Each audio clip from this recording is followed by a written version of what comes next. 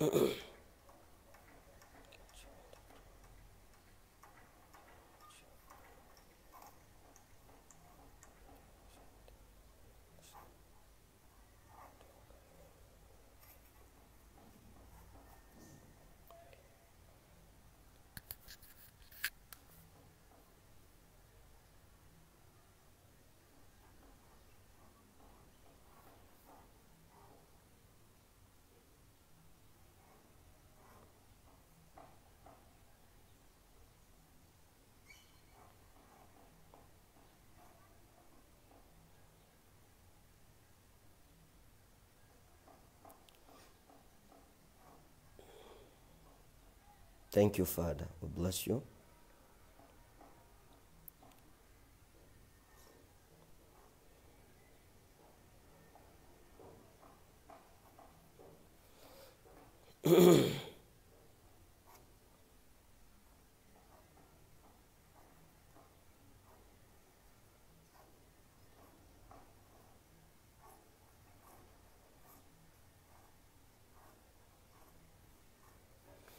Bonjour à chacun. Bonjour, bonne arrivée à cette émission, à cette édition spéciale. C'est une édition dangereuse et spéciale. Donc partageons la vidéo s'il vous plaît. Invitons le maximum de personnes. Nous avons une responsabilité vis-à-vis de nos frères et de nos sœurs. Donc euh, partageons la vidéo. Invitons les groupes dans lesquels nous sommes enregistrés. Parce que ce matin, ce sera très fort. Nous attendons nos frères et nos sœurs dans le monde entier. Bienvenue à la plateforme à la lumière des Écritures. Connectons-nous massivement. Connectons-nous massivement. Partage la vidéo. Comme tu le fais, le Seigneur te bénit et combat tes combats.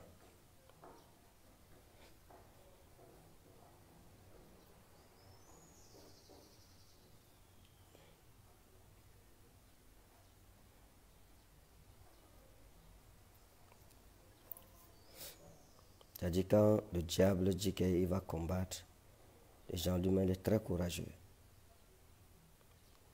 Confusion dans le camp de l'ennemi. Nous attendons nos bien-aimés. S'il vous plaît, partageons la vidéo. Partageons cette vidéo. Invite le maximum de personnes. Le maximum, s'il te plaît. Fais-le pour la gloire de Christ. Invite. Je sais que Dieu va parler à quelqu'un ce matin. Dieu va toucher le cœur de quelqu'un ce matin. On va parler des choses redoutables. J'ai annoncé mon direct depuis hier. J'ai annoncé les choses qui vont se passer pendant ce direct. Donc nettoie bien tes oreilles. Assois-toi bien. Éteins le téléviseur, éteins la radio. Arrête tout. Concentre-toi sur ton téléphone et sur ce que je vais dire ce matin. Concentre-toi. Tu as un ami que tu aimes. Appelle-le. Dis-lui, connecte-toi à la page Prophète Ferdinand Khan officiel. Il y a quelque chose qui va se passer dans quelques minutes. Fais vite. Donc, si tu es en train de me suivre là, tu conduis la voiture, s'il te plaît, gare. Parce que je ne veux pas qu'une déclaration sorte le matin si tu fais l'accident. Yo m'accuse. Non, pardon. Garde ta voiture. Tu es en train de préparer, descends la marmite, éteins ton réchaud. Tu viens t'asseoir. Parce qu'après, si la nourriture se verse, ou bien si elle se brûle, et ton mari te chasse du foyer, ne dis pas que c'était moi que tu écoutais. Si tu m'écoutes, tu descends ta marmite, tu éteins d'abord. Tu attends, tu écoutes l'émission-ci. Après cette émission, tu comprendras pourquoi je t'ai demandé d'arrêter tout d'abord avant de m'écouter. Donc, quel que soit ce que tu fais, s'il te plaît, arrête ça d'abord. Le diable n'est pas content de cette émission surtout celle de ce matin. Le diable n'aime pas ça. J'essaie d'ouvrir, d'ouvrir ma Bible en grec. Ici, elle refuse. J'essaie d'ouvrir, d'ouvrir, ça refuse. Un instant, je prends ma Bible en livre.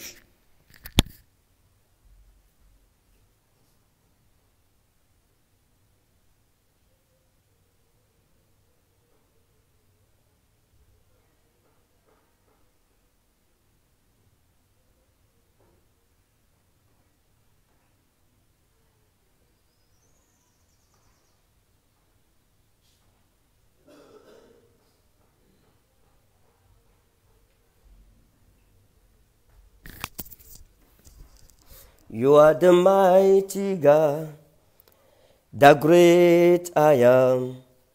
Hallelujah. Hallelujah.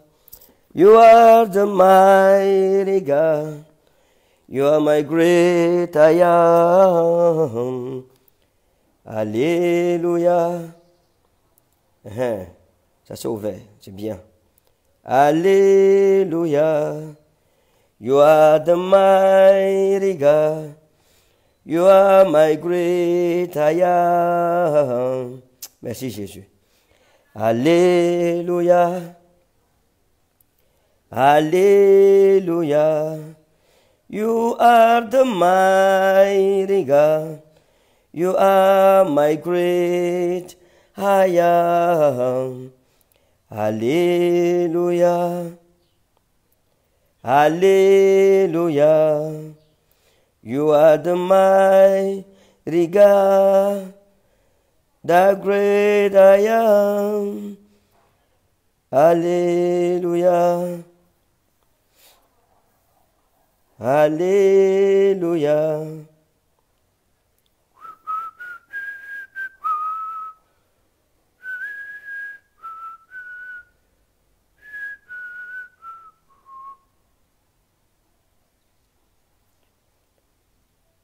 Que Dieu te bénisse.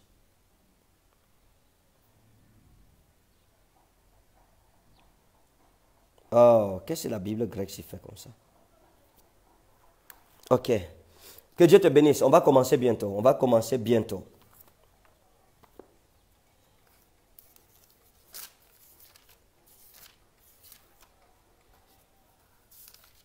La Bible, comment ma Bible grecque refuse de s'ouvrir dans mon téléphone? Pourquoi il n'y a que ça qui refuse s'ouvrir YouTube envoie des messages. Ça dit la connexion passe. Heureusement que j'ai ma Bible en grec, toujours avec moi. C'est important. Tu dois avoir ta Bible. Tu dois marcher avec ta Bible partout. Hier à l'église, j'ai demandé les enfants de Dieu qui n'ont pas la Bible. Plusieurs se sont levés. Ils n'avaient pas de Bible. Des soldats qui vont en guerre sans armes. Hein? On a encore deux minutes, pardon. Partage la vidéo. S'il te plaît, envoyez les cœurs, les pouces avant même que je n'ai commencé. Envoie les cœurs, les pouces pour la gloire de Jésus-Christ. Voilà. La Bible en grec refuse. Pourtant, dès que j'ai mis la connexion là, YouTube m'a envoyé directement les, les- les- les titres. Mais cependant, la Bible en grec, elle refuse catégoriquement de s'ouvrir. Parce que le diable sait que ce que je vais dire, c'est une bombe qui va sortir ce matin. C'est une grosse bombe qui va sortir. Seigneur, nous te bénissons au nom souverain de Jésus. Merci pour ta grâce et ta faveur. Je prie que mes frères et mes sœurs qui sont en ce moment connectés dans le monde entier, Seigneur, que ta main forte soit dans leur vie, que ta puissance agisse et se manifeste dans le nom précieux souverain de Jésus-Christ. Amen. Gloire à Jésus. Merci, merci. Connectons-nous, s'il vous plaît. Partage la vidéo. Partage cette vidéo au maximum. Tous les Camerounais doivent m'écouter. L'église au Cameroun doit m'écouter. L'église dans le monde entier doit écouter ce que j'ai à dire ce matin. Et soit un agent de bénédiction qui permettra que ça puisse arriver à tout le monde. Dans une minute, on va commencer. Seigneur, prends contrôle ce matin. Glorifie ton Saint-Nom. Glorifie ton Saint-Nom. Saint-Esprit, sois ma source d'inspiration, manifeste ta grâce et que ta bénédiction soit notre partage. Gloire à toi, Jésus. Merci parce que tu es vivant. Que ton nom soit glorifié pour l'éternité. Au nom précieux et souverain de Jésus-Christ. Amen. Voilà, que le Seigneur te bénisse au nom souverain de Jésus. Bienvenue à la lumière des Saintes Écritures. On va lancer les hostilités. Il est déjà 10 heures, 10 minutes. Vous savez que le temps passe tellement vite sur cette atmosphère-ci. Le temps passe trop vite, trop vite même. Merci Jésus. Merci parce que tu es vivant. Bien-aimé, lorsque je regarde l'Église aujourd'hui, après une longue et profonde méditation, il y a des résultats que j'ai reçus du Seigneur Jésus. Et c'est avec cela que je vais parler ce matin. Et on va essayer de d'escortiquer les Saintes Écritures pour essayer de voir qu'est-ce qui ne marche pas dans l'église de Dieu aujourd'hui. Lorsque vous regardez l'église de Jésus, tellement de haine, tellement de désordre parmi les enfants de Dieu. L'une des choses que Jésus-Christ a souhaité pendant qu'il vivait, toute sa vie, le plus grand message que Jésus-Christ a prêché, et le message sur lequel il a insisté, il a chevauché, il a caracolé, il a tournoyé, c'était le message de l'amour. L'amour, l'amour, l'amour et l'amour parmi ses enfants. Mais aujourd'hui, ce que nous voyons, c'est la haine, la destruction, la division, les rancunes, les insultes. C'est-à-dire que vous entrez dans le monde des enfants de Dieu. Ce n'est pas un paradis, c'est une jungle. C'est un monde de haine, un monde de compétition, un monde de jalousie, un monde de coups bas, un monde de méchanceté, un monde de pratique de sorcellerie, un monde où on tend les pièges les uns aux autres, un monde de chaos. La maison de Dieu est devenue un centre de chaos aujourd'hui. Il est difficile de voir deux enfants de Dieu qui s'entendent sans hypocrisie. Il est difficile de voir deux hommes de Dieu qui s'entendent, je ne dis pas trois, je dis deux, deux hommes de Dieu qui s'entendent sans hypocrisie. L'amitié réelle est en train de disparaître ou a presque disparu de l'Église. La fraternité chrétienne a disparu de nos églises. Quand vous arrivez dans l'église, c'est la calomnie. Calomnie, calomnie, calomnie, calomnie. Les hommes de Dieu, il n'y a pas de différence entre l'homme de Dieu et la brebis. L'homme de Dieu calomnie, la brebis calomnie. L'homme de Dieu médit, la brebis médit. L'homme de Dieu répand de faux témoignages, la brebis répand de faux témoignages. Et j'ai découvert la jalousie est en train de ruiner la maison de Dieu aujourd'hui. À cause de la jalousie, certaines personnes sont prêtes à dénigrer d'autres, à détruire la réputation des autres à tout prix. Non pas parce que ce qu'elles disent est vrai ou fondé, ou qu'elles ont vécu ce qu'elles disent, ou qu'elles peuvent apporter des preuves de ce qu'elles disent, mais juste parce qu'elles sont jalouses de l'œuvre de Dieu dans la vie de leurs frères ou de leurs sœurs. Et on se demande où est l'œuvre de l'Esprit de Christ au milieu de nous aujourd'hui. Alors, pendant que j'étais en train d'y penser, et que j'étais dans ma retraite personnelle, et que je priais et je pleurais devant Dieu sur son église au Cameroun, et que j'étais dépassé du caractère du comportement des hommes de Dieu, comme du caractère du comportement des brebis, le Seigneur m'a donné une révélation. Et c'est cette révélation que je partage avec toi aujourd'hui. Le Seigneur m'a donné la révélation de découvrir une génération cachée dans sa maison. La génération où la race, il y a une espèce dans l'église que nous négligeons souvent ou bien que nous ne savons même pas l'existence. Il y a une race dans l'église. Dieu m'a dit, il y a une race dans ma maison. Et c'est à cause de cette race qu'il y a autant de destruction dans ma maison. Autant de haine. Parce que l'église est tellement devenue compliquée aujourd'hui que beaucoup de personnes se découragent de donner leur vie à Jésus. Parce que l'amour, la tolérance, la bénignité, les fruits du Saint-Esprit, on ne les trouve presque plus jamais. C'est-à-dire, il n'y a plus de différence entre la maison de Dieu et le monde. C'est compliqué. Et beaucoup de personnes, même parmi nos membres de famille ou parmi nos amis, nous disent qu'il faut être chrétien pour entrer dans vos bagarres là. Je préfère encore être païen. Et j'ai demandé à Dieu, Seigneur, qu'est-ce qui est à l'origine d'autant d'animosité dans ta maison aujourd'hui? Je ne comprenais pas comment un enfant de Dieu, né de nouveau, en qui la sémence de Dieu habite, peut haïr son frère?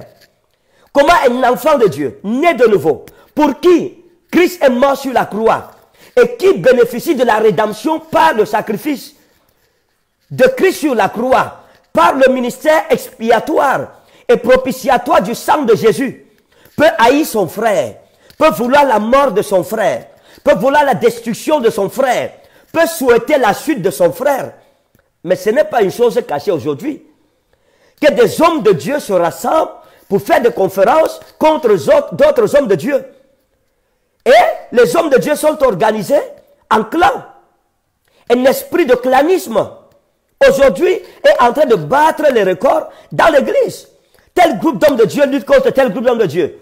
Tel groupe d'enfants de Dieu lutte contre tel groupe d'enfants de Dieu. Telle église contre telle église. Telle dénomination contre telle dénomination. En quoi Jésus-Christ tire-t-il? Tire-t-il sa gloire dans toutes ces choses? Dans toute cette animosité? Dans toute cette animalité? Et pendant que je réfléchissais et que je ne comprenais pas comment un enfant de Dieu né de nouveau peut chercher la mort d'un autre enfant de Dieu né de nouveau, parce que je ne comprenais pas comment la sémence de Dieu peut le faire dans la vie de quelqu'un, Dieu m'a dit non. Mes vrais enfants, un vrai enfant de Dieu, le mal n'est pas produit par son cœur, ni par sa vie. Le mal ne provient pas de lui. Et le Seigneur m'a dit, c'est pour ça que j'ai dit, vous les reconnaîtrez par leurs fruits. Le bon arbre produit de bons fruits. Les mauvais arbres produisent de mauvais fruits. Un bon arbre ne produit pas de mauvais fruits. Un bon arbre qui produit de mauvais fruits n'est pas un bon arbre, c'est un mauvais arbre. Un mauvais arbre qui produit du bon fruit n'est pas un mauvais arbre, c'est un bon arbre. Et le Seigneur Jésus m'a dit qu'aujourd'hui dans l'église, il y a tellement de confusion que nous faisons plus la différence entre les bons arbres et les mauvais arbres. Entre l'arbre planté par Dieu et celui planté par Satan. Et c'est où le Seigneur m'a révélé la race de la vipère. La race de la vipère. Et Dieu m'a parlé de la race de la vipère dans sa maison. Et c'est de cette race que je veux te parler ce matin. Il y a dans l'église de Dieu une race qu'on appelle la race de la vipère. Et c'est cette race-là qui est en train de semer le trouble dans la maison de Dieu, parmi le peuple de Dieu, pour discréditer l'œuvre de Christ et saboter l'image du christianisme aux yeux du monde entier aujourd'hui. Pourquoi? Parce qu'un vrai enfant de Dieu, qui est né de Dieu, en qui la sémence de Dieu habite, ne peut être jaloux de son frère. Il ne peut haïr son frère. Non. La sémence de Dieu en quelqu'un ne peut pas produire la haine, la jalousie. Non. Ces choses-là sont les miracles qui accompagnent ceux qui n'ont pas cru, mais qui sont crus. C'est les miracles qui accompagnent ceux qui n'ont pas cru, mais qui sont crus. Un vrai enfant de Dieu, il y a des choses qu'il ne fera jamais. Il ne fera jamais. Un vrai enfant de Dieu, quelqu'un qui porte la sémence de Dieu, ne peut pas chercher le malheur de son frère. Il ne se réjouit pas du malheur de son frère. Il ne peut pas calomnier son frère. Il n'a même pas la force là. Il n'a pas cette force. C'est impossible. C'est impossible. Comme c'est impossible à l'homme de s'envoler dans les airs, c'est impossible à celui qui a la sémence de Dieu de pratiquer le péché. C'est impossible pour lui. C'est impossible. Lorsque vous voyez ces choses, c'est la preuve que la sémence de Dieu n'habite pas dans cette personne. L'apôtre Jean a dit ceci. Comment peux-tu haïr ton frère que tu vois? Et prétendre aimer Dieu que tu ne vois pas Moi qui suis ton frère, peut-être, il dit ton frère que tu vois, moi tu ne m'as même jamais rencontré, tu me haïs, tu me hais, pardon. Tu ne m'as jamais rencontré, mais tu me hais. À quoi forte raison, celui que tu vois, avec qui tu parles, celui avec qui tu as un échange, lui alors tu chercheras à le tuer. Voilà jusqu'à quel point l'église s'est trouvée. Le Seigneur m'a dit, mes enfants, ne pratique pas le mal. Et il m'a parlé de la race de vipère. Je vais vous montrer quelque chose. Sois attentif. Prends ta Bible avec moi. Ah, ah, la Bible ici, c'est encore fermé. C'est dommage. Oh là. Elle s'est encore fermée. Il n'y a pas de problème. Ça, c'est une émission très combattue. Hein? Reste sur place, ne bouge pas. Dieu va t'amener quelque part. Quand nous prenons par exemple la Bible dans Matthieu, chapitre 23, le verset 33, qu'est-ce que la Bible dit? Jésus dit ceci, je vais lire en grec. Matthieu 23, verset 33. Il dit ceci. Kai meis, non, ophéis, ophéis, en grec veut dire serpent. Il dit genemata, genemata et kiknon, race de vipères. Pos fugete, apotes chryseos, tes geneses, geneses, te genes, qui vous a appris à fuir, qui vous a appris, comment, dit, comment échapperez-vous au châtiment de la géhenne Il dit, Ophéis, Ophéis, serpent. Et il dit, Genemata, et Kiknon. Genemata et Kiknon est la race de la vipère. Genemata veut dire, il y a Genao ou Genomai, qui veut dire engendré par le serpent. Et le Seigneur m'a expliqué que comme Dieu a ses enfants, comme la Bible dit, à tous ceux qui l'ont reçu, et d'aucun genestai, il leur a donné le pouvoir de naître de Dieu, Il y a aussi ceux qui sont nés du serpent ancien. Satan, le diable, est appelé le serpent ancien. Il a ses enfants, il a sa descendance, il a sa postérité dans la maison de Dieu. Et la mission de sa postérité, c'est de détruire l'œuvre de Dieu.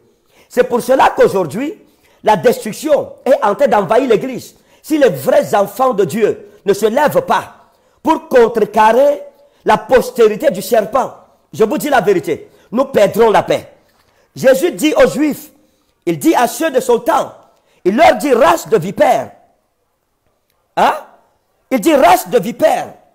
Il dit serpent, race de vipères. Comment échapperez-vous au châtiment de la géhenne Il y a un châtiment pour la race de vipères. Il dit comment échapperez-vous? Parce que je ne comprenais pas comment un enfant de Dieu peut chercher à empoisonner un autre enfant de Dieu. Si ce n'est pas qu'il y a la sémence de la vipère dans le cœur d'un tel homme ou bien dans le cœur d'une telle femme. Comment quelqu'un qui a l'esprit de Christ peut vouloir faire du mal à son prochain? Dieu m'a dit non. Ça ne vient pas de moi. Ça ne vient pas de mes vrais enfants. Ceux qui sont convertis par l'évangile. Ceux que Christ a touchés. Ceux qui ont une connexion avec la mort de Christ sur la croix. Ceux qui sont nés de nouveau. L'amour de Christ est manifeste en eux. Eux, ils aiment leurs semblables. Eux ne méditent pas le mal contre leur prochain. Eux ne sont pas jaloux de l'excellence de l'œuvre de Christ dans la vie de leurs frères. Au contraire, ils se réjouissent du bonheur d'autrui. Ils pleurent avec ceux qui pleurent. Ils rient avec ceux qui rient. Ils se réjouissent avec ceux qui se réjouissent. Mais bien aimés, il y a une race dangereuse dans l'église. Une race qui a porté la sorcellerie dans l'église. J'ai parlé du docteur Charles Somba. Je ne dis pas le feu docteur Charles Somba, non. Je ne dis pas le feu docteur Charles Somba. Parce que les morts en Christ ne sont pas morts. Ils ne sont pas du tout morts. Les morts en Christ ne sont pas morts. J'ai déjà eu à raconter ce témoignage, à raconter cette histoire. À l'époque, j'ai reçu une dame qui était venue me voir et qui m'a dit qu'elle avait travaillé pour l'homme de Dieu et que l'homme de Dieu n'avait pas payé son argent. Elle m'avait raconté un certain nombre de choses que je ne voudrais pas étaler dans cette plateforme. Et ce qui attire mon attention, et ce sur quoi je vais attirer ton attention, c'est qu'elle me demande qu'elle et moi s'associent pour tuer le docteur Somba, que je prie pour qu'il meure. Mes amis, si tu n'as pas la sémence du serpent en toi, tu ne peux pas arriver à ce degré de haine. Maintenant, Dieu l'a rappelé vers lui. C'est sûr que de telles personnes se réjouissent de son malheur. Les gens se réjouissent. Cette espèce de personnes se réjouissent de son malheur. J'ai lu dans les commentaires des gens qui ont écrit que non. Vraiment, le docteur Somba est mort, il ne faut pas, il faut le laisser se reposer. On ne peut pas le laisser se reposer, mes amis. Il ne peut pas se reposer. Il ne peut pas du tout se reposer. Lorsqu'il était vivant, vous l'avez caractérisé de sorcier. C'est vous les mêmes personnes qui disaient c'est un sorcier. C'est un faux homme de Dieu. Maintenant que le Seigneur l'a rappelé, vous avez fini de vous réjouir et vous dites qu'il faut qu'on le laisse se reposer. Mais bien aimé, la mémoire de cet homme vous troublera plus que lorsqu'il était vivant. Sa mémoire vous troublera. Des hommes de Dieu ont fait des organisations, des prières contre le docteur Charles Somba. Je vous parle d'une réalité. Nous sommes comme des carrefours dans l'église de Dieu aujourd'hui au Cameroun. Je vous dis les choses, vous ne savez pas ça. Des hommes de Dieu se sont rassemblés pour prier que cet homme meure. Si vous demandez qu'est-ce qu'il vous a fait, en fait, il n'y a rien. Si ce n'est que la jalousie. Pourquoi? Parce qu'il rassemblait des gens. Maintenant qu'il est parti, le Seigneur l'a rappelé. Va donc remplir juste sa salle, va et raconte euh, là-bas en van, va, va, va, va remplir sans voix. Va remplir. Remplis sans voix. Et je vais acclamer que oui, vraiment, tu peux te réjouir. Va remplir. Ou va remplir le palais des sports, on voit. Plus jalousie, plus sorcellerie, plus haine. Comment des enfants de Dieu peuvent-ils souhaiter la mort d'autres enfants de Dieu? Comment un homme de Dieu peut-il souhaiter la chute d'un autre homme de Dieu? Comment tu peux prier, frère, que ton frère tombe, qu'il meure, qu'il tombe dans le péché Quel scandale explose dans son ministère Juste parce que, pour toi, il te fait écran. Vous vous souvenez à l'époque, quand j'ai dit que le Seigneur m'a dit que je dois partir, euh, c'était pour quel pays là? Des gens ont commencé à faire des publications, des révélations commencé à sortir sur Facebook. Que oui, Dieu m'a montré. Dieu m'a montré qu'un soleil va s'éteindre. Il y a un soleil qui va aller dans un autre pays en Ouganda et d'autres, les petits soleils qui n'arrivaient pas à briller, vont commencer à briller. Frère, si ma présence t'a empêché de briller, c'est pas mon absence que tu vas briller. Si ma présence t'a empêché d'être connu, c'est pas mon absence qui te permettra d'être connu, c'est pas possible. Si tu n'as pas réussi quand j'étais là, c'est pas quand je ne serai pas là que tu vas réussir. Ce n'est pas possible, bien aimé. La mémoire du docteur Tchalai Somba va tourmenter ses ennemis plus que lorsqu'il était présent. Notez ça. Afin que vous appreniez que les héros deviennent plus dangereux lorsqu'ils sont morts que lorsqu'ils sont vivants. Sa mémoire restera. Les générations futures entendront parler de lui. C'est ça la réalité. Tu ne peux pas faire ce qu'il a fait. Même mort, va essayer de faire ce qu'il faisait. Ta haine t'a servi à quoi maintenant qu'il est mort Toi, tu ne vas pas mourir. Nous tous, on va mourir, frère. Dieu m'a dit qu'il y a une race de vipères dans sa maison. Il y a des hommes de Dieu qui ne sont pas envoyés par Dieu. Vous les reconnaissez à leurs fruits. Comment nous sommes arrivés au point où tu prends ton Facebook, tu prends les photos d'un homme de Dieu, tu mets ça sur ta page Facebook pour dire que ça c'est un faux, ça c'est un sorcier, ça c'est un vampire. Tu sais ce que c'est qu'un sorcier? Tu connais ce que c'est qu'un vampire, frère? Si on te demande, le vampirisme là, il pratiquait ça où? Tu vas le dire. On te demande que, ok, la sorcellerie là, il pratique ça où? Amène-nous là-bas. Tu vas amener les gens et montrer les choses avec lesquelles pratique la sorcellerie, frère. Si ce n'est pas que la sémence du diable est dans ton cœur, comment expliquer que les gens soient capables d'aller jusqu'à cette extrémité? Où est l'amour de Christ? Où est cet amour que Christ nous a enseigné? Le Seigneur Jésus a dit ceci. Je ne vous impose pas un commandement nouveau mais s'il y a un commandement que je vous donne, aimez-vous les uns et les autres, comme moi aussi je vous ai aimé. Un vrai chrétien se reconnaît par l'amour de Christ. Vous les reconnaissez à leur fruit. Tu es enfant de Dieu. Ta bouche n'est pleine que d'injures, de haine, de jalousie. Tu souhaites que tout le monde meure. Maintenant, si tout le monde meurt, on te laisse seul avec le monde là. Tu vas faire quoi de ça? Tu feras quoi de ça? Les gens qui pensaient que si le docteur Tchalesomba part, ils vont récupérer les brebis là. C'est même maintenant que vos églises vont se vider.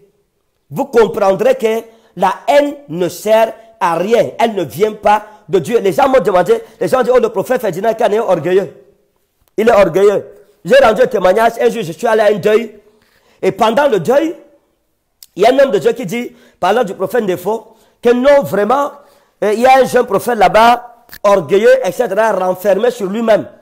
Si le prophète Défaut vous raconte les déceptions qu'il a eues avec les hommes de Dieu, les coups bas, les complots dont il a échappé, si on se met à vous raconter ça, vous ne croirez pas qu'il s'agit de l'Église. On, a même honte de dire ces choses en public, de peur que euh, les païens ne soient découragés d'accepter Jésus.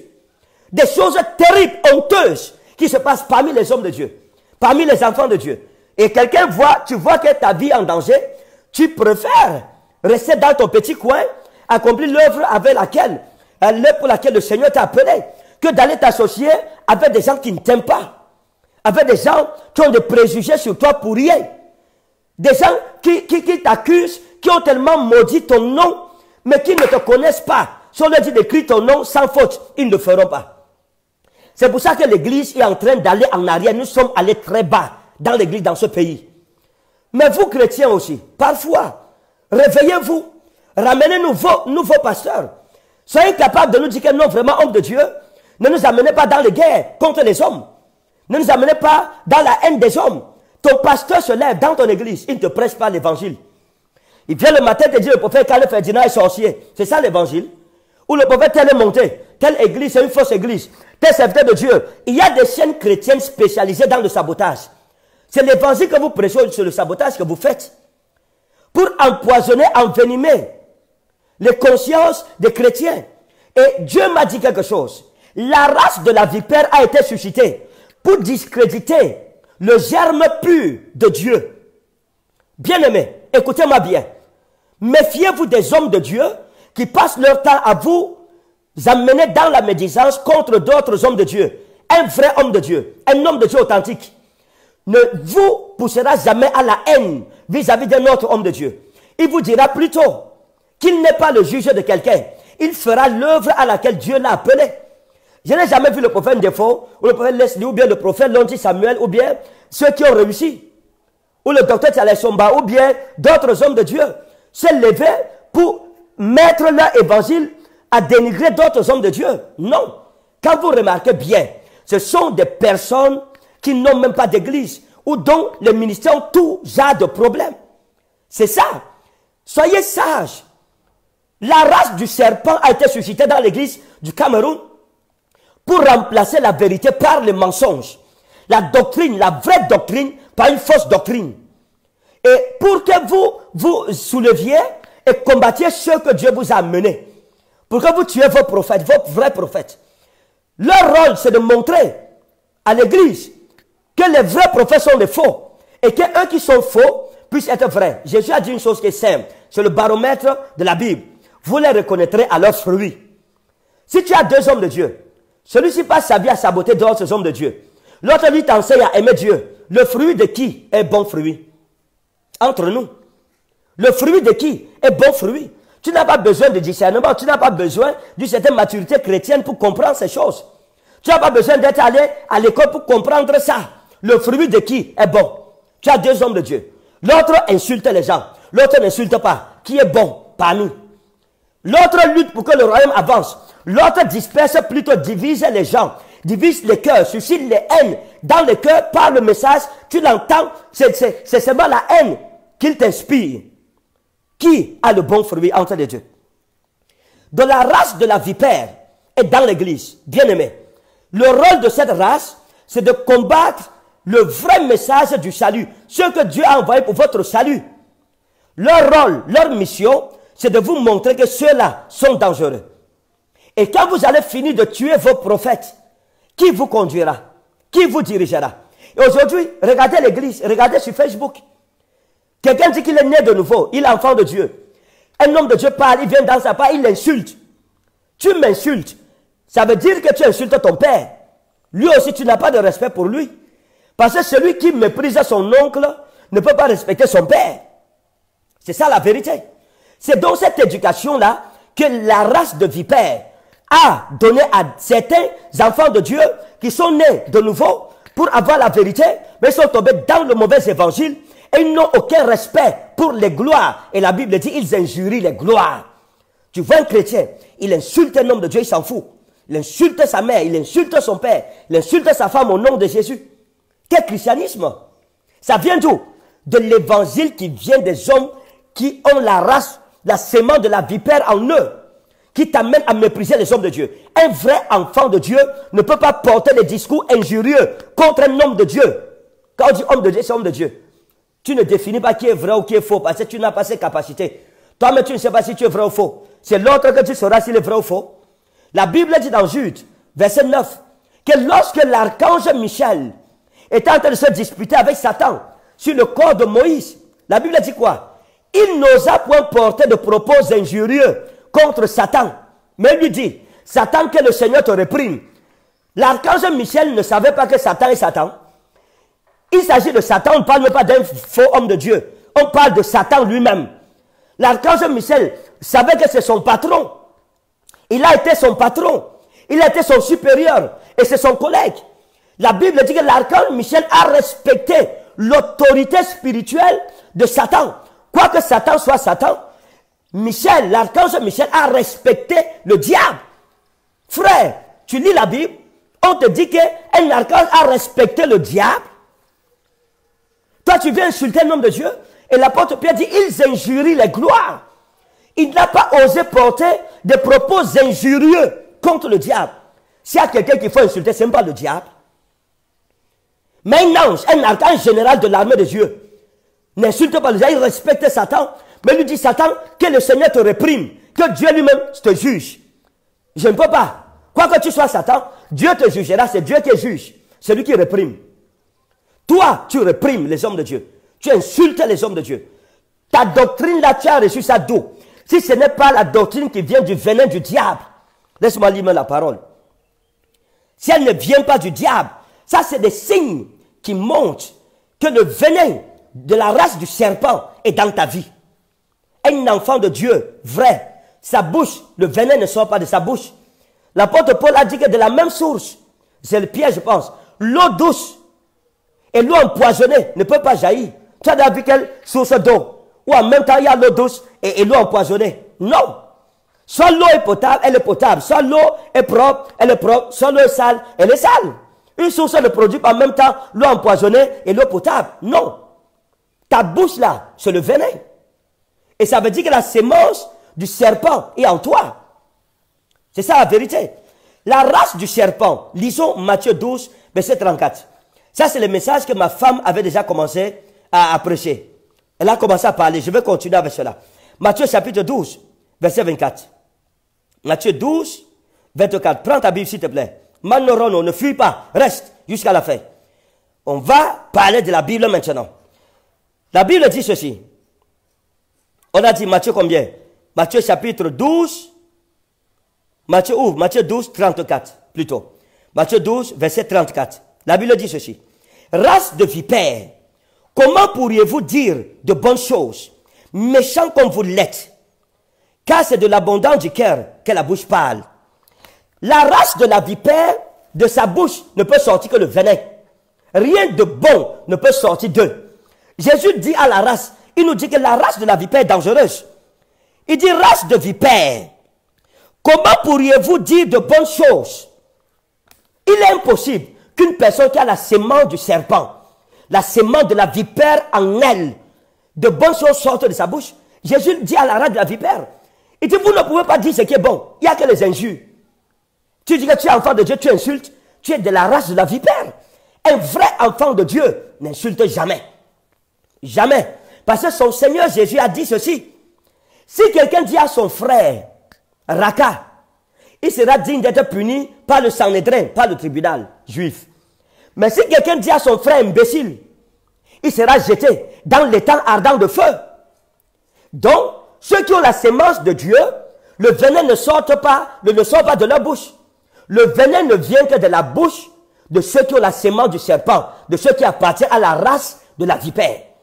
C'est pour ça que quand vous lisez les commentaires, tu vois quelqu'un qui insulte un homme de Dieu, ne répond pas.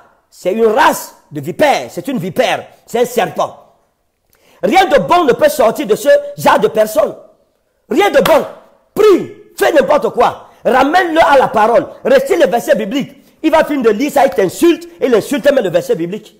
Jésus a dit que rien de bon ne peut sortir de la bouche des enfants de la vipère, des enfants du serpent ancien, en dehors du venin, en dehors de la méchanceté. Il dit méchant comme vous l'êtes.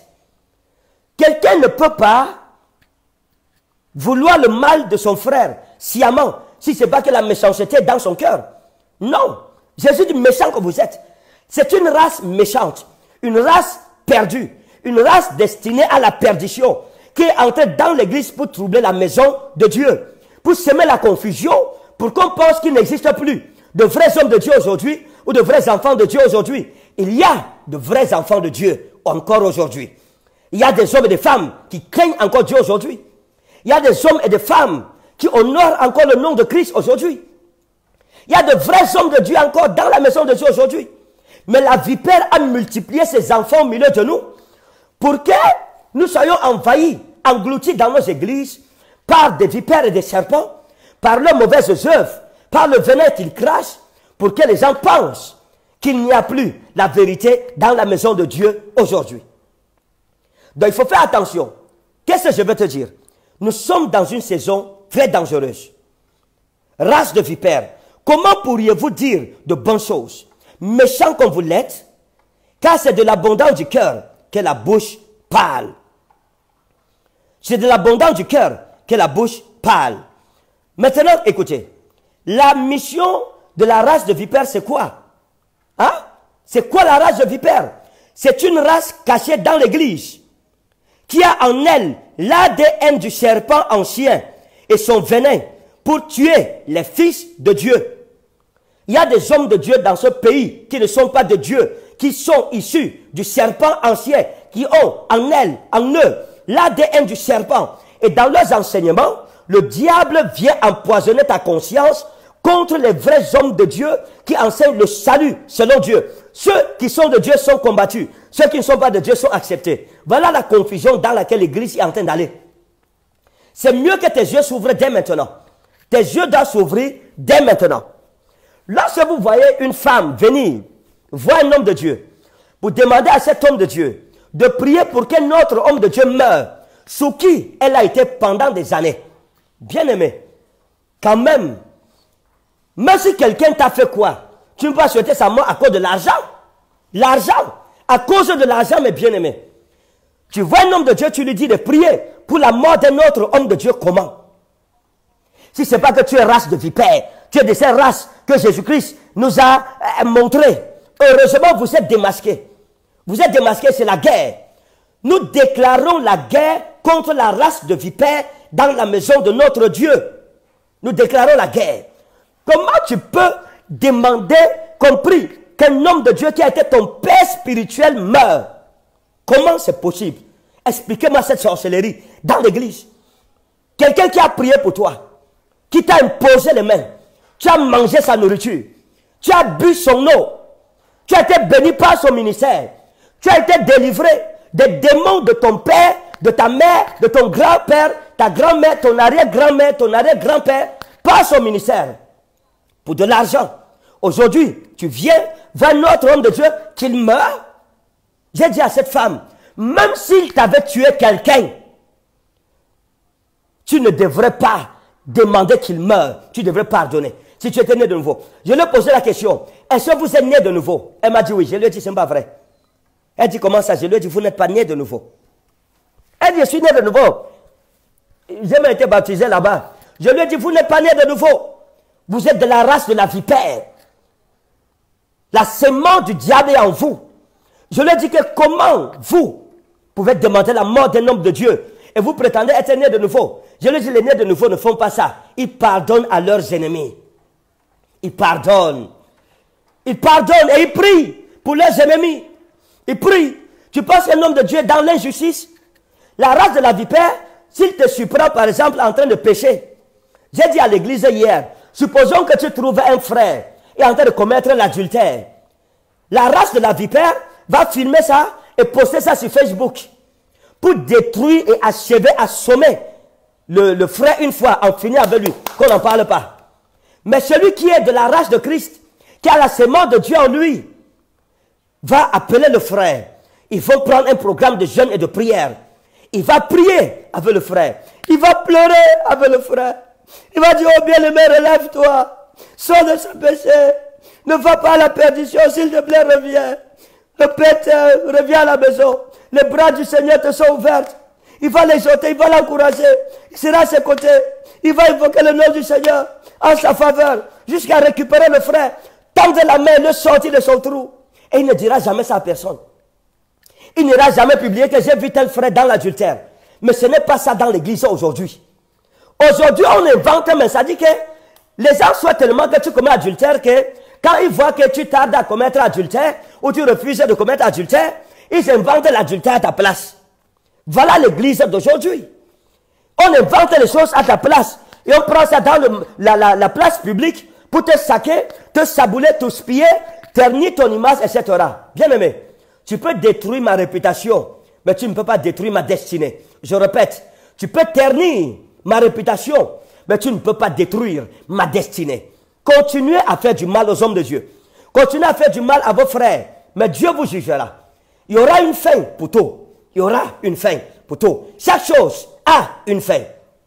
Chaque chose a une fin. Chaque chose, notez ça. Chaque chose, toute chose a un début et toute chose a un commencement. Comment un homme de Dieu peut-il prendre son temps pour aller insulter un autre homme de Dieu d'abord même C'est-à-dire que le bon sens ne t'enseigne-t-il pas que ce n'est pas honorable de le faire? Mais s'il y a quelque chose, la Bible dit que si ton frère a péché contre toi, va vers ton frère, parle-lui de toi à lui seul, parle-lui d'abord. S'il refuse de t'entendre, prends deux témoins, va, parle-lui seul. S'il refuse, c'est là que tu amènes ça au niveau de ton assemblée. Il n'a pas dit à Facebook. Aujourd'hui, nous nous livrons en spectacle sur les réseaux sociaux. Tel vient, il insulte tel homme de Dieu. Tel homme de Dieu fait, il insulte tel. Tel autre vient, il parle contre tel. Tel autre vient, il sabote, il sabote tel. Dans les radios, c'est la même chose. Et nous sommes ridicules à la fin. La sémence de Dieu ne fait pas ça. Ça, c'est le miracle qui montre que les gens ne sont plus avec Dieu. Tu peux penser que tu es avec Dieu. Pourtant, Dieu t'a quitté depuis longtemps, mon ami. Tu peux croire que Dieu est avec toi. Il y a des œuvres, vraiment, que quand Dieu est présent, quelqu'un ne peut pas faire. Qu'on ne se mente pas. Il y a des choses que quelqu'un qui est dans la présence de Dieu ne peut pas faire. C'est-à-dire que hmm, ce n'est pas possible. Ce n'est pas possible. Je ne vois pas comment je peux venir prendre mon temps pour insulter un homme de Dieu, me dire d'un homme de Dieu, calomnier de tête. Ça dit que c'est l'impossible des impossibles. Ça ne passe même pas dans ma tête. À cause de l'esprit de Christ qui m'habite, de l'esprit de vérité et d'amour qui m'habite. Si je me rends compte qu'un frère ou un homme de Dieu agit mal, moi, prophète Ferdinand Kane, je prends le temps et je prie pour lui. Je prie. Je prie pour lui, j'intercède pour lui. C'est ce que la sémence de Dieu m'oblige à faire. J'intercède pour lui. Je ne viendrai jamais sur Facebook insulter un homme de Dieu exposer les faiblesses d'un homme de Dieu. S'il y a quelqu'un dont je dois exposer les faiblesses, c'est mes propres faiblesses que je peux exposer. Et ça, je le fais parfois. Je le fais. Et je demande prier pour moi pour telle chose, telle chose. Donc, c'est ça, mes bien-aimés. Donc, c'est une race cachée dans l'église qui a en elle l'ADN du serpent ancien. Et son venin, c'est pour tuer les fils de Dieu, les vrais hommes de Dieu. Une race qui n'a pas sa bouche, qui a dans sa bouche le venin pour détruire l'œuvre de Jésus-Christ. Une race de laquelle rien de bon ne peut sortir, comme le Seigneur Jésus-Christ l'a dit. Quelle est donc la mission de la race du serpent? Acte 13, verset 10. Acte chapitre 13, verset 10. Je vais te montrer leur mission. La Bible nous a montré tout. Gloire à Dieu pour la Bible. Et malheur aux enfants de Dieu qui ne lisent pas la Bible. Vous serez mordus par la race du serpent. La Bible dit ceci. Homme plein de toute espèce de ruse et de fraude. Voici ce qui définit ce qui appartient à la race du serpent. Homme plein de toute espèce de ruse et de fraude. Il y a des enfants qu'on appelle enfants de Dieu, mais des hommes et des femmes pleins de ruse. Quelqu'un s'approche de toi pour te faire du mal. Rusé, comme le serpent, comme son père le serpent. Plein de fraude, pas de justice, pas de droiture. Tu fais le business avec lui, il te frappe. Tu tentes de t'associer à lui, il te frappe. Il te fait ça dur. Le cœur n'est pas bon.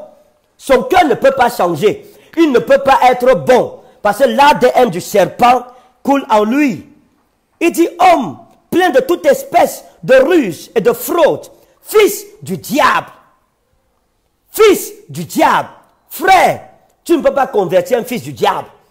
C'est des fils du diable. Leur mission, c'est de pervertir les, droits, les, les voies droites du Seigneur.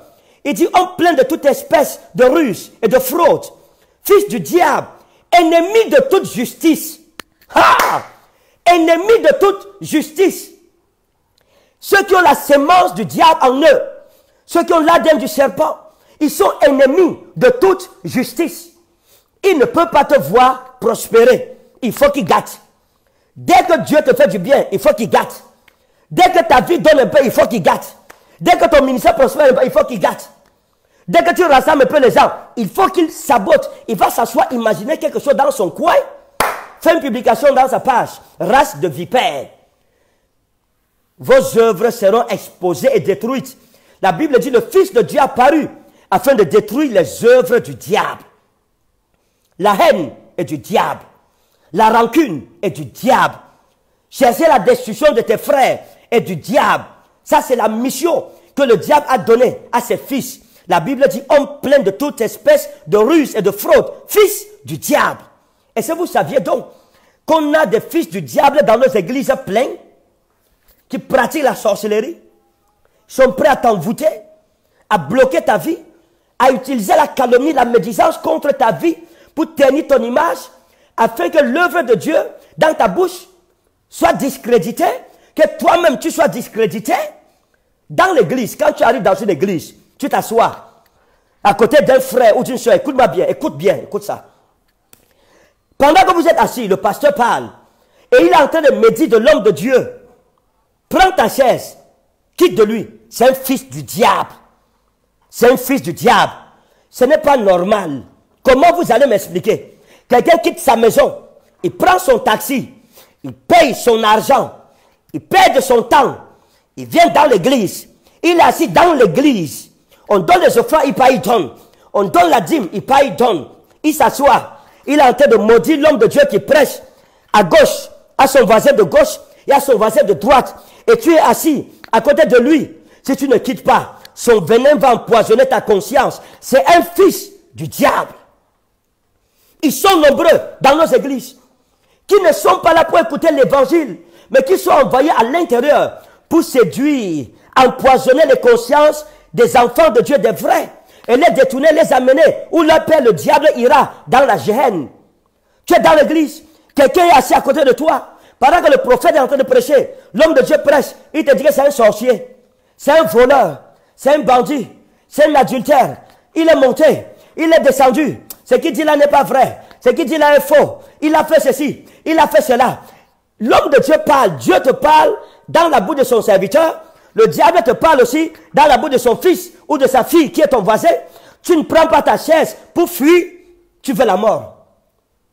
Tu veux la mort. C'est vrai. Tu veux la mort.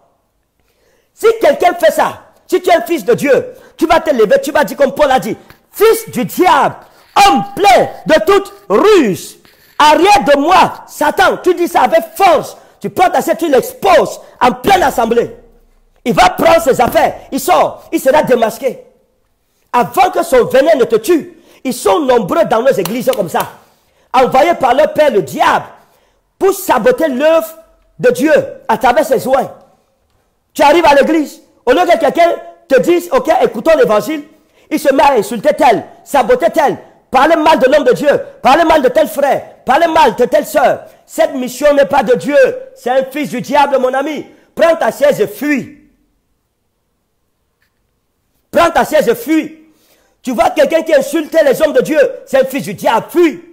La sémence du diable est en lui. Quelqu'un qui a la sémence de Christ ne peut pas faire ça. Homme plein de toute espèce de ruse et de fraude, fils du diable, ennemi de toute justice, ne cesseras-tu point de pervertir les voies droites du Seigneur? Ne cesseras-tu point de pervertir les voies droites du Seigneur? Leur mission au milieu de nous, c'est de pervertir les voies droites du Seigneur. C'est de t'empêcher d'accomplir ce pourquoi le Seigneur t'a appelé. Bien aimé, si Dieu t'a envoyé dans une église, tu es à la maison chez toi. Peut-être tu regardes la télé ou bien tu me suis comme ce matin. C'est la première fois que tu es sur cette page. Et tu es béni. Et l'Esprit de Dieu te dit, lève-toi. Cherche l'église de mon serviteur, son assemblée. Tu viens. Je suis en train de prêcher et quelqu'un te dit que moi je suis un bandit, je suis un voleur, je suis un sorcier. Tu oublies le témoignage que le Saint-Esprit t'a donné le jour où tu m'as regardé la première fois pour écouter le fils du diable, un fils du diable. Tu vas partir, ton âme sera perdue. Et la bénédiction que Dieu avait pour toi dans cette assemblée, tu l'auras perdue. Ce fils du diable ne t'amènera nulle part. Il va te conduire jusqu'aux portes de l'enfer. Quand tu seras entré, il va revenir encore pour séduire d'autres personnes. C'est de ça qu'il est question. C'est pour ça que vous pouvez voir aujourd'hui quelqu'un qui s'appelle un homme de Dieu chercher à empoisonner un autre homme de Dieu. Un vrai homme de Dieu ne peut pas empoisonner un homme de Dieu. Et c'est la même personne qui va aller dans les radios pour dire que tel homme de Dieu est faux, tel utilise la sorcellerie. Quand quelqu'un parle même d'abord de son frère, il parle de son collègue, tu sens tellement de haine que tu sais que l'homme, si, s'il a l'occasion de prendre le poison, mettre dans la nourriture, donner à l'homme de, qui il parle là, il va le faire. Il va le faire. Il y a un genre de parole que quand on dit contre quelqu'un, tu sais que la personne ici, elle a la possibilité de prendre le couteau et poignarder la personne si sans qu'on la voit, elle va le faire. Tu sens comment quelqu'un parle avec la haine. La personne est aigrie dans son cœur. Elle est amère. Ce sont des signes qui doivent vous alerter. Et c'est les mêmes gens qui vous disent que nous, on est des bandits. Que nous, on est des faux. Tu m'as déjà vu quand venir insulter un homme de Dieu. Depuis que j'ai fait le ministère. Tu m'as vu faire ça quand? Pourquoi? La sémence de Christ est en moi. Maintenant, c'est celui qui vient m'insulter, qui passe sa vie à insulter les hommes de Dieu, a dit qu'ils sont faux, ils sont des vampires, ils sont des sorciers. Si quelqu'un dit que l'autre est vampire, ça veut dire que lui n'est pas vampire. Si quelqu'un dit que l'autre est mauvais, c'est comme pour te dire que lui il est bon. C'est ça la vérité. Mais vous ne pouvez pas réussir dans ce pays, c'est fini. Il y a une génération que Dieu a suscité dans ce pays, une génération dangereuse. Dieu nous a suscité. C'est pour ça. Demain, je vais continuer avec ce même enseignement, la race de la vipère. Demain, je n'aime pas, pas lu la moitié de mes versets. Et jeudi, à partir de 10 heures, ce jeudi, 10 heures, nous avons un spécial direct. Mon frère et moi, le prophète défaut. Nous avons un spécial direct. 10 heures, nous serons à deux pour essayer de réviser certaines bases doctrinales au Cameroun et dans l'église de Dieu en général. Pour essayer d'apporter la délivrance au peuple de Dieu. Apporter le salut au nom de Jésus-Christ et apporter la lumière où les ténèbres ont voulu remplacer la lumière dans l'église de Dieu et dans la maison de Dieu. Lui et moi, nous avons causé. Jeudi, 10 heures, prophète Ferdinand et Canet, prophète Ndefo, en direct, sur cette page. Ses abonnés dans leur page, mes abonnés dans cette page, nous serons en direct. Nous allons démasquer l'œuvre du diable qu'aucun homme de Dieu n'a eu le courage d'attaquer dans ce pays. Nous nous attaquerons aux forteresses qui sont restées incombattues par les hommes de Dieu parce que les gens manquaient de courage, parce que les gens ont eu peur.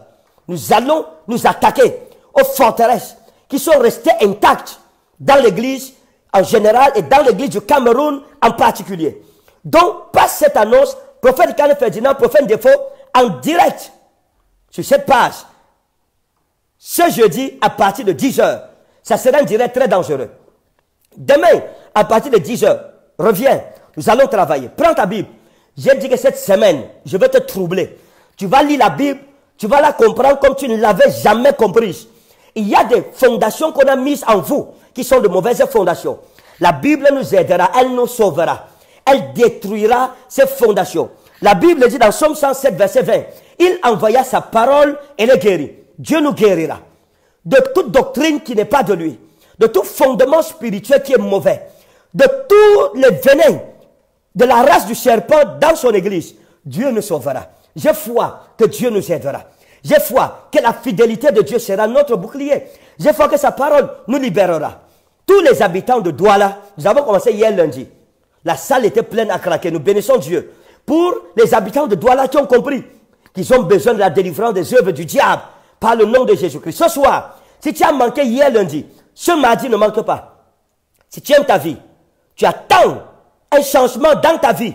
Tu as essayé à gauche, à droite, ça n'a pas fonctionné. Tout à l'heure, 16 heures, l'église est en Dogbon, nous sommes à Douala. Dieu veut toucher ta vie. Dieu veut apporter un changement terrible dans ta vie et dans ta famille et mettre fin à l'œuvre du diable dans ta vie. Tout venin, tout poison maléfique dans ta vie sera renversé. Les œuvres de la sorcellerie, détruite, saccagée automatiquement. Ce soir, tu es malade, nous commençons avec les séries de délivrance, de guérison et de restauration. Que Dieu soit avec toi. L'église est à Ndogbo, derrière l'immeuble Kamlet. Ne reste pas à la maison. Je suis à Douala pour ta délivrance. Dieu m'a réquisitionné toutes ces semaines à Douala pour toi. Donc, ne reste pas à la maison, ta chaise t'attend. S'il te plaît, partage cette vidéo. Il y a des fils du royaume qui doivent être sauvés. Il y a des fils du royaume qui étaient en cage, dans les cages pris en otage par les fils du serpent. S'il te plaît, leur salut dépend de ton partage. Partage la vidéo. Abonne-toi à cette page. Si tu n'es pas abonné, abonne-toi pour avoir les notifications à chaque fois qu'un direct sera lancé. Que Dieu te bénisse. Restons vigilants. La race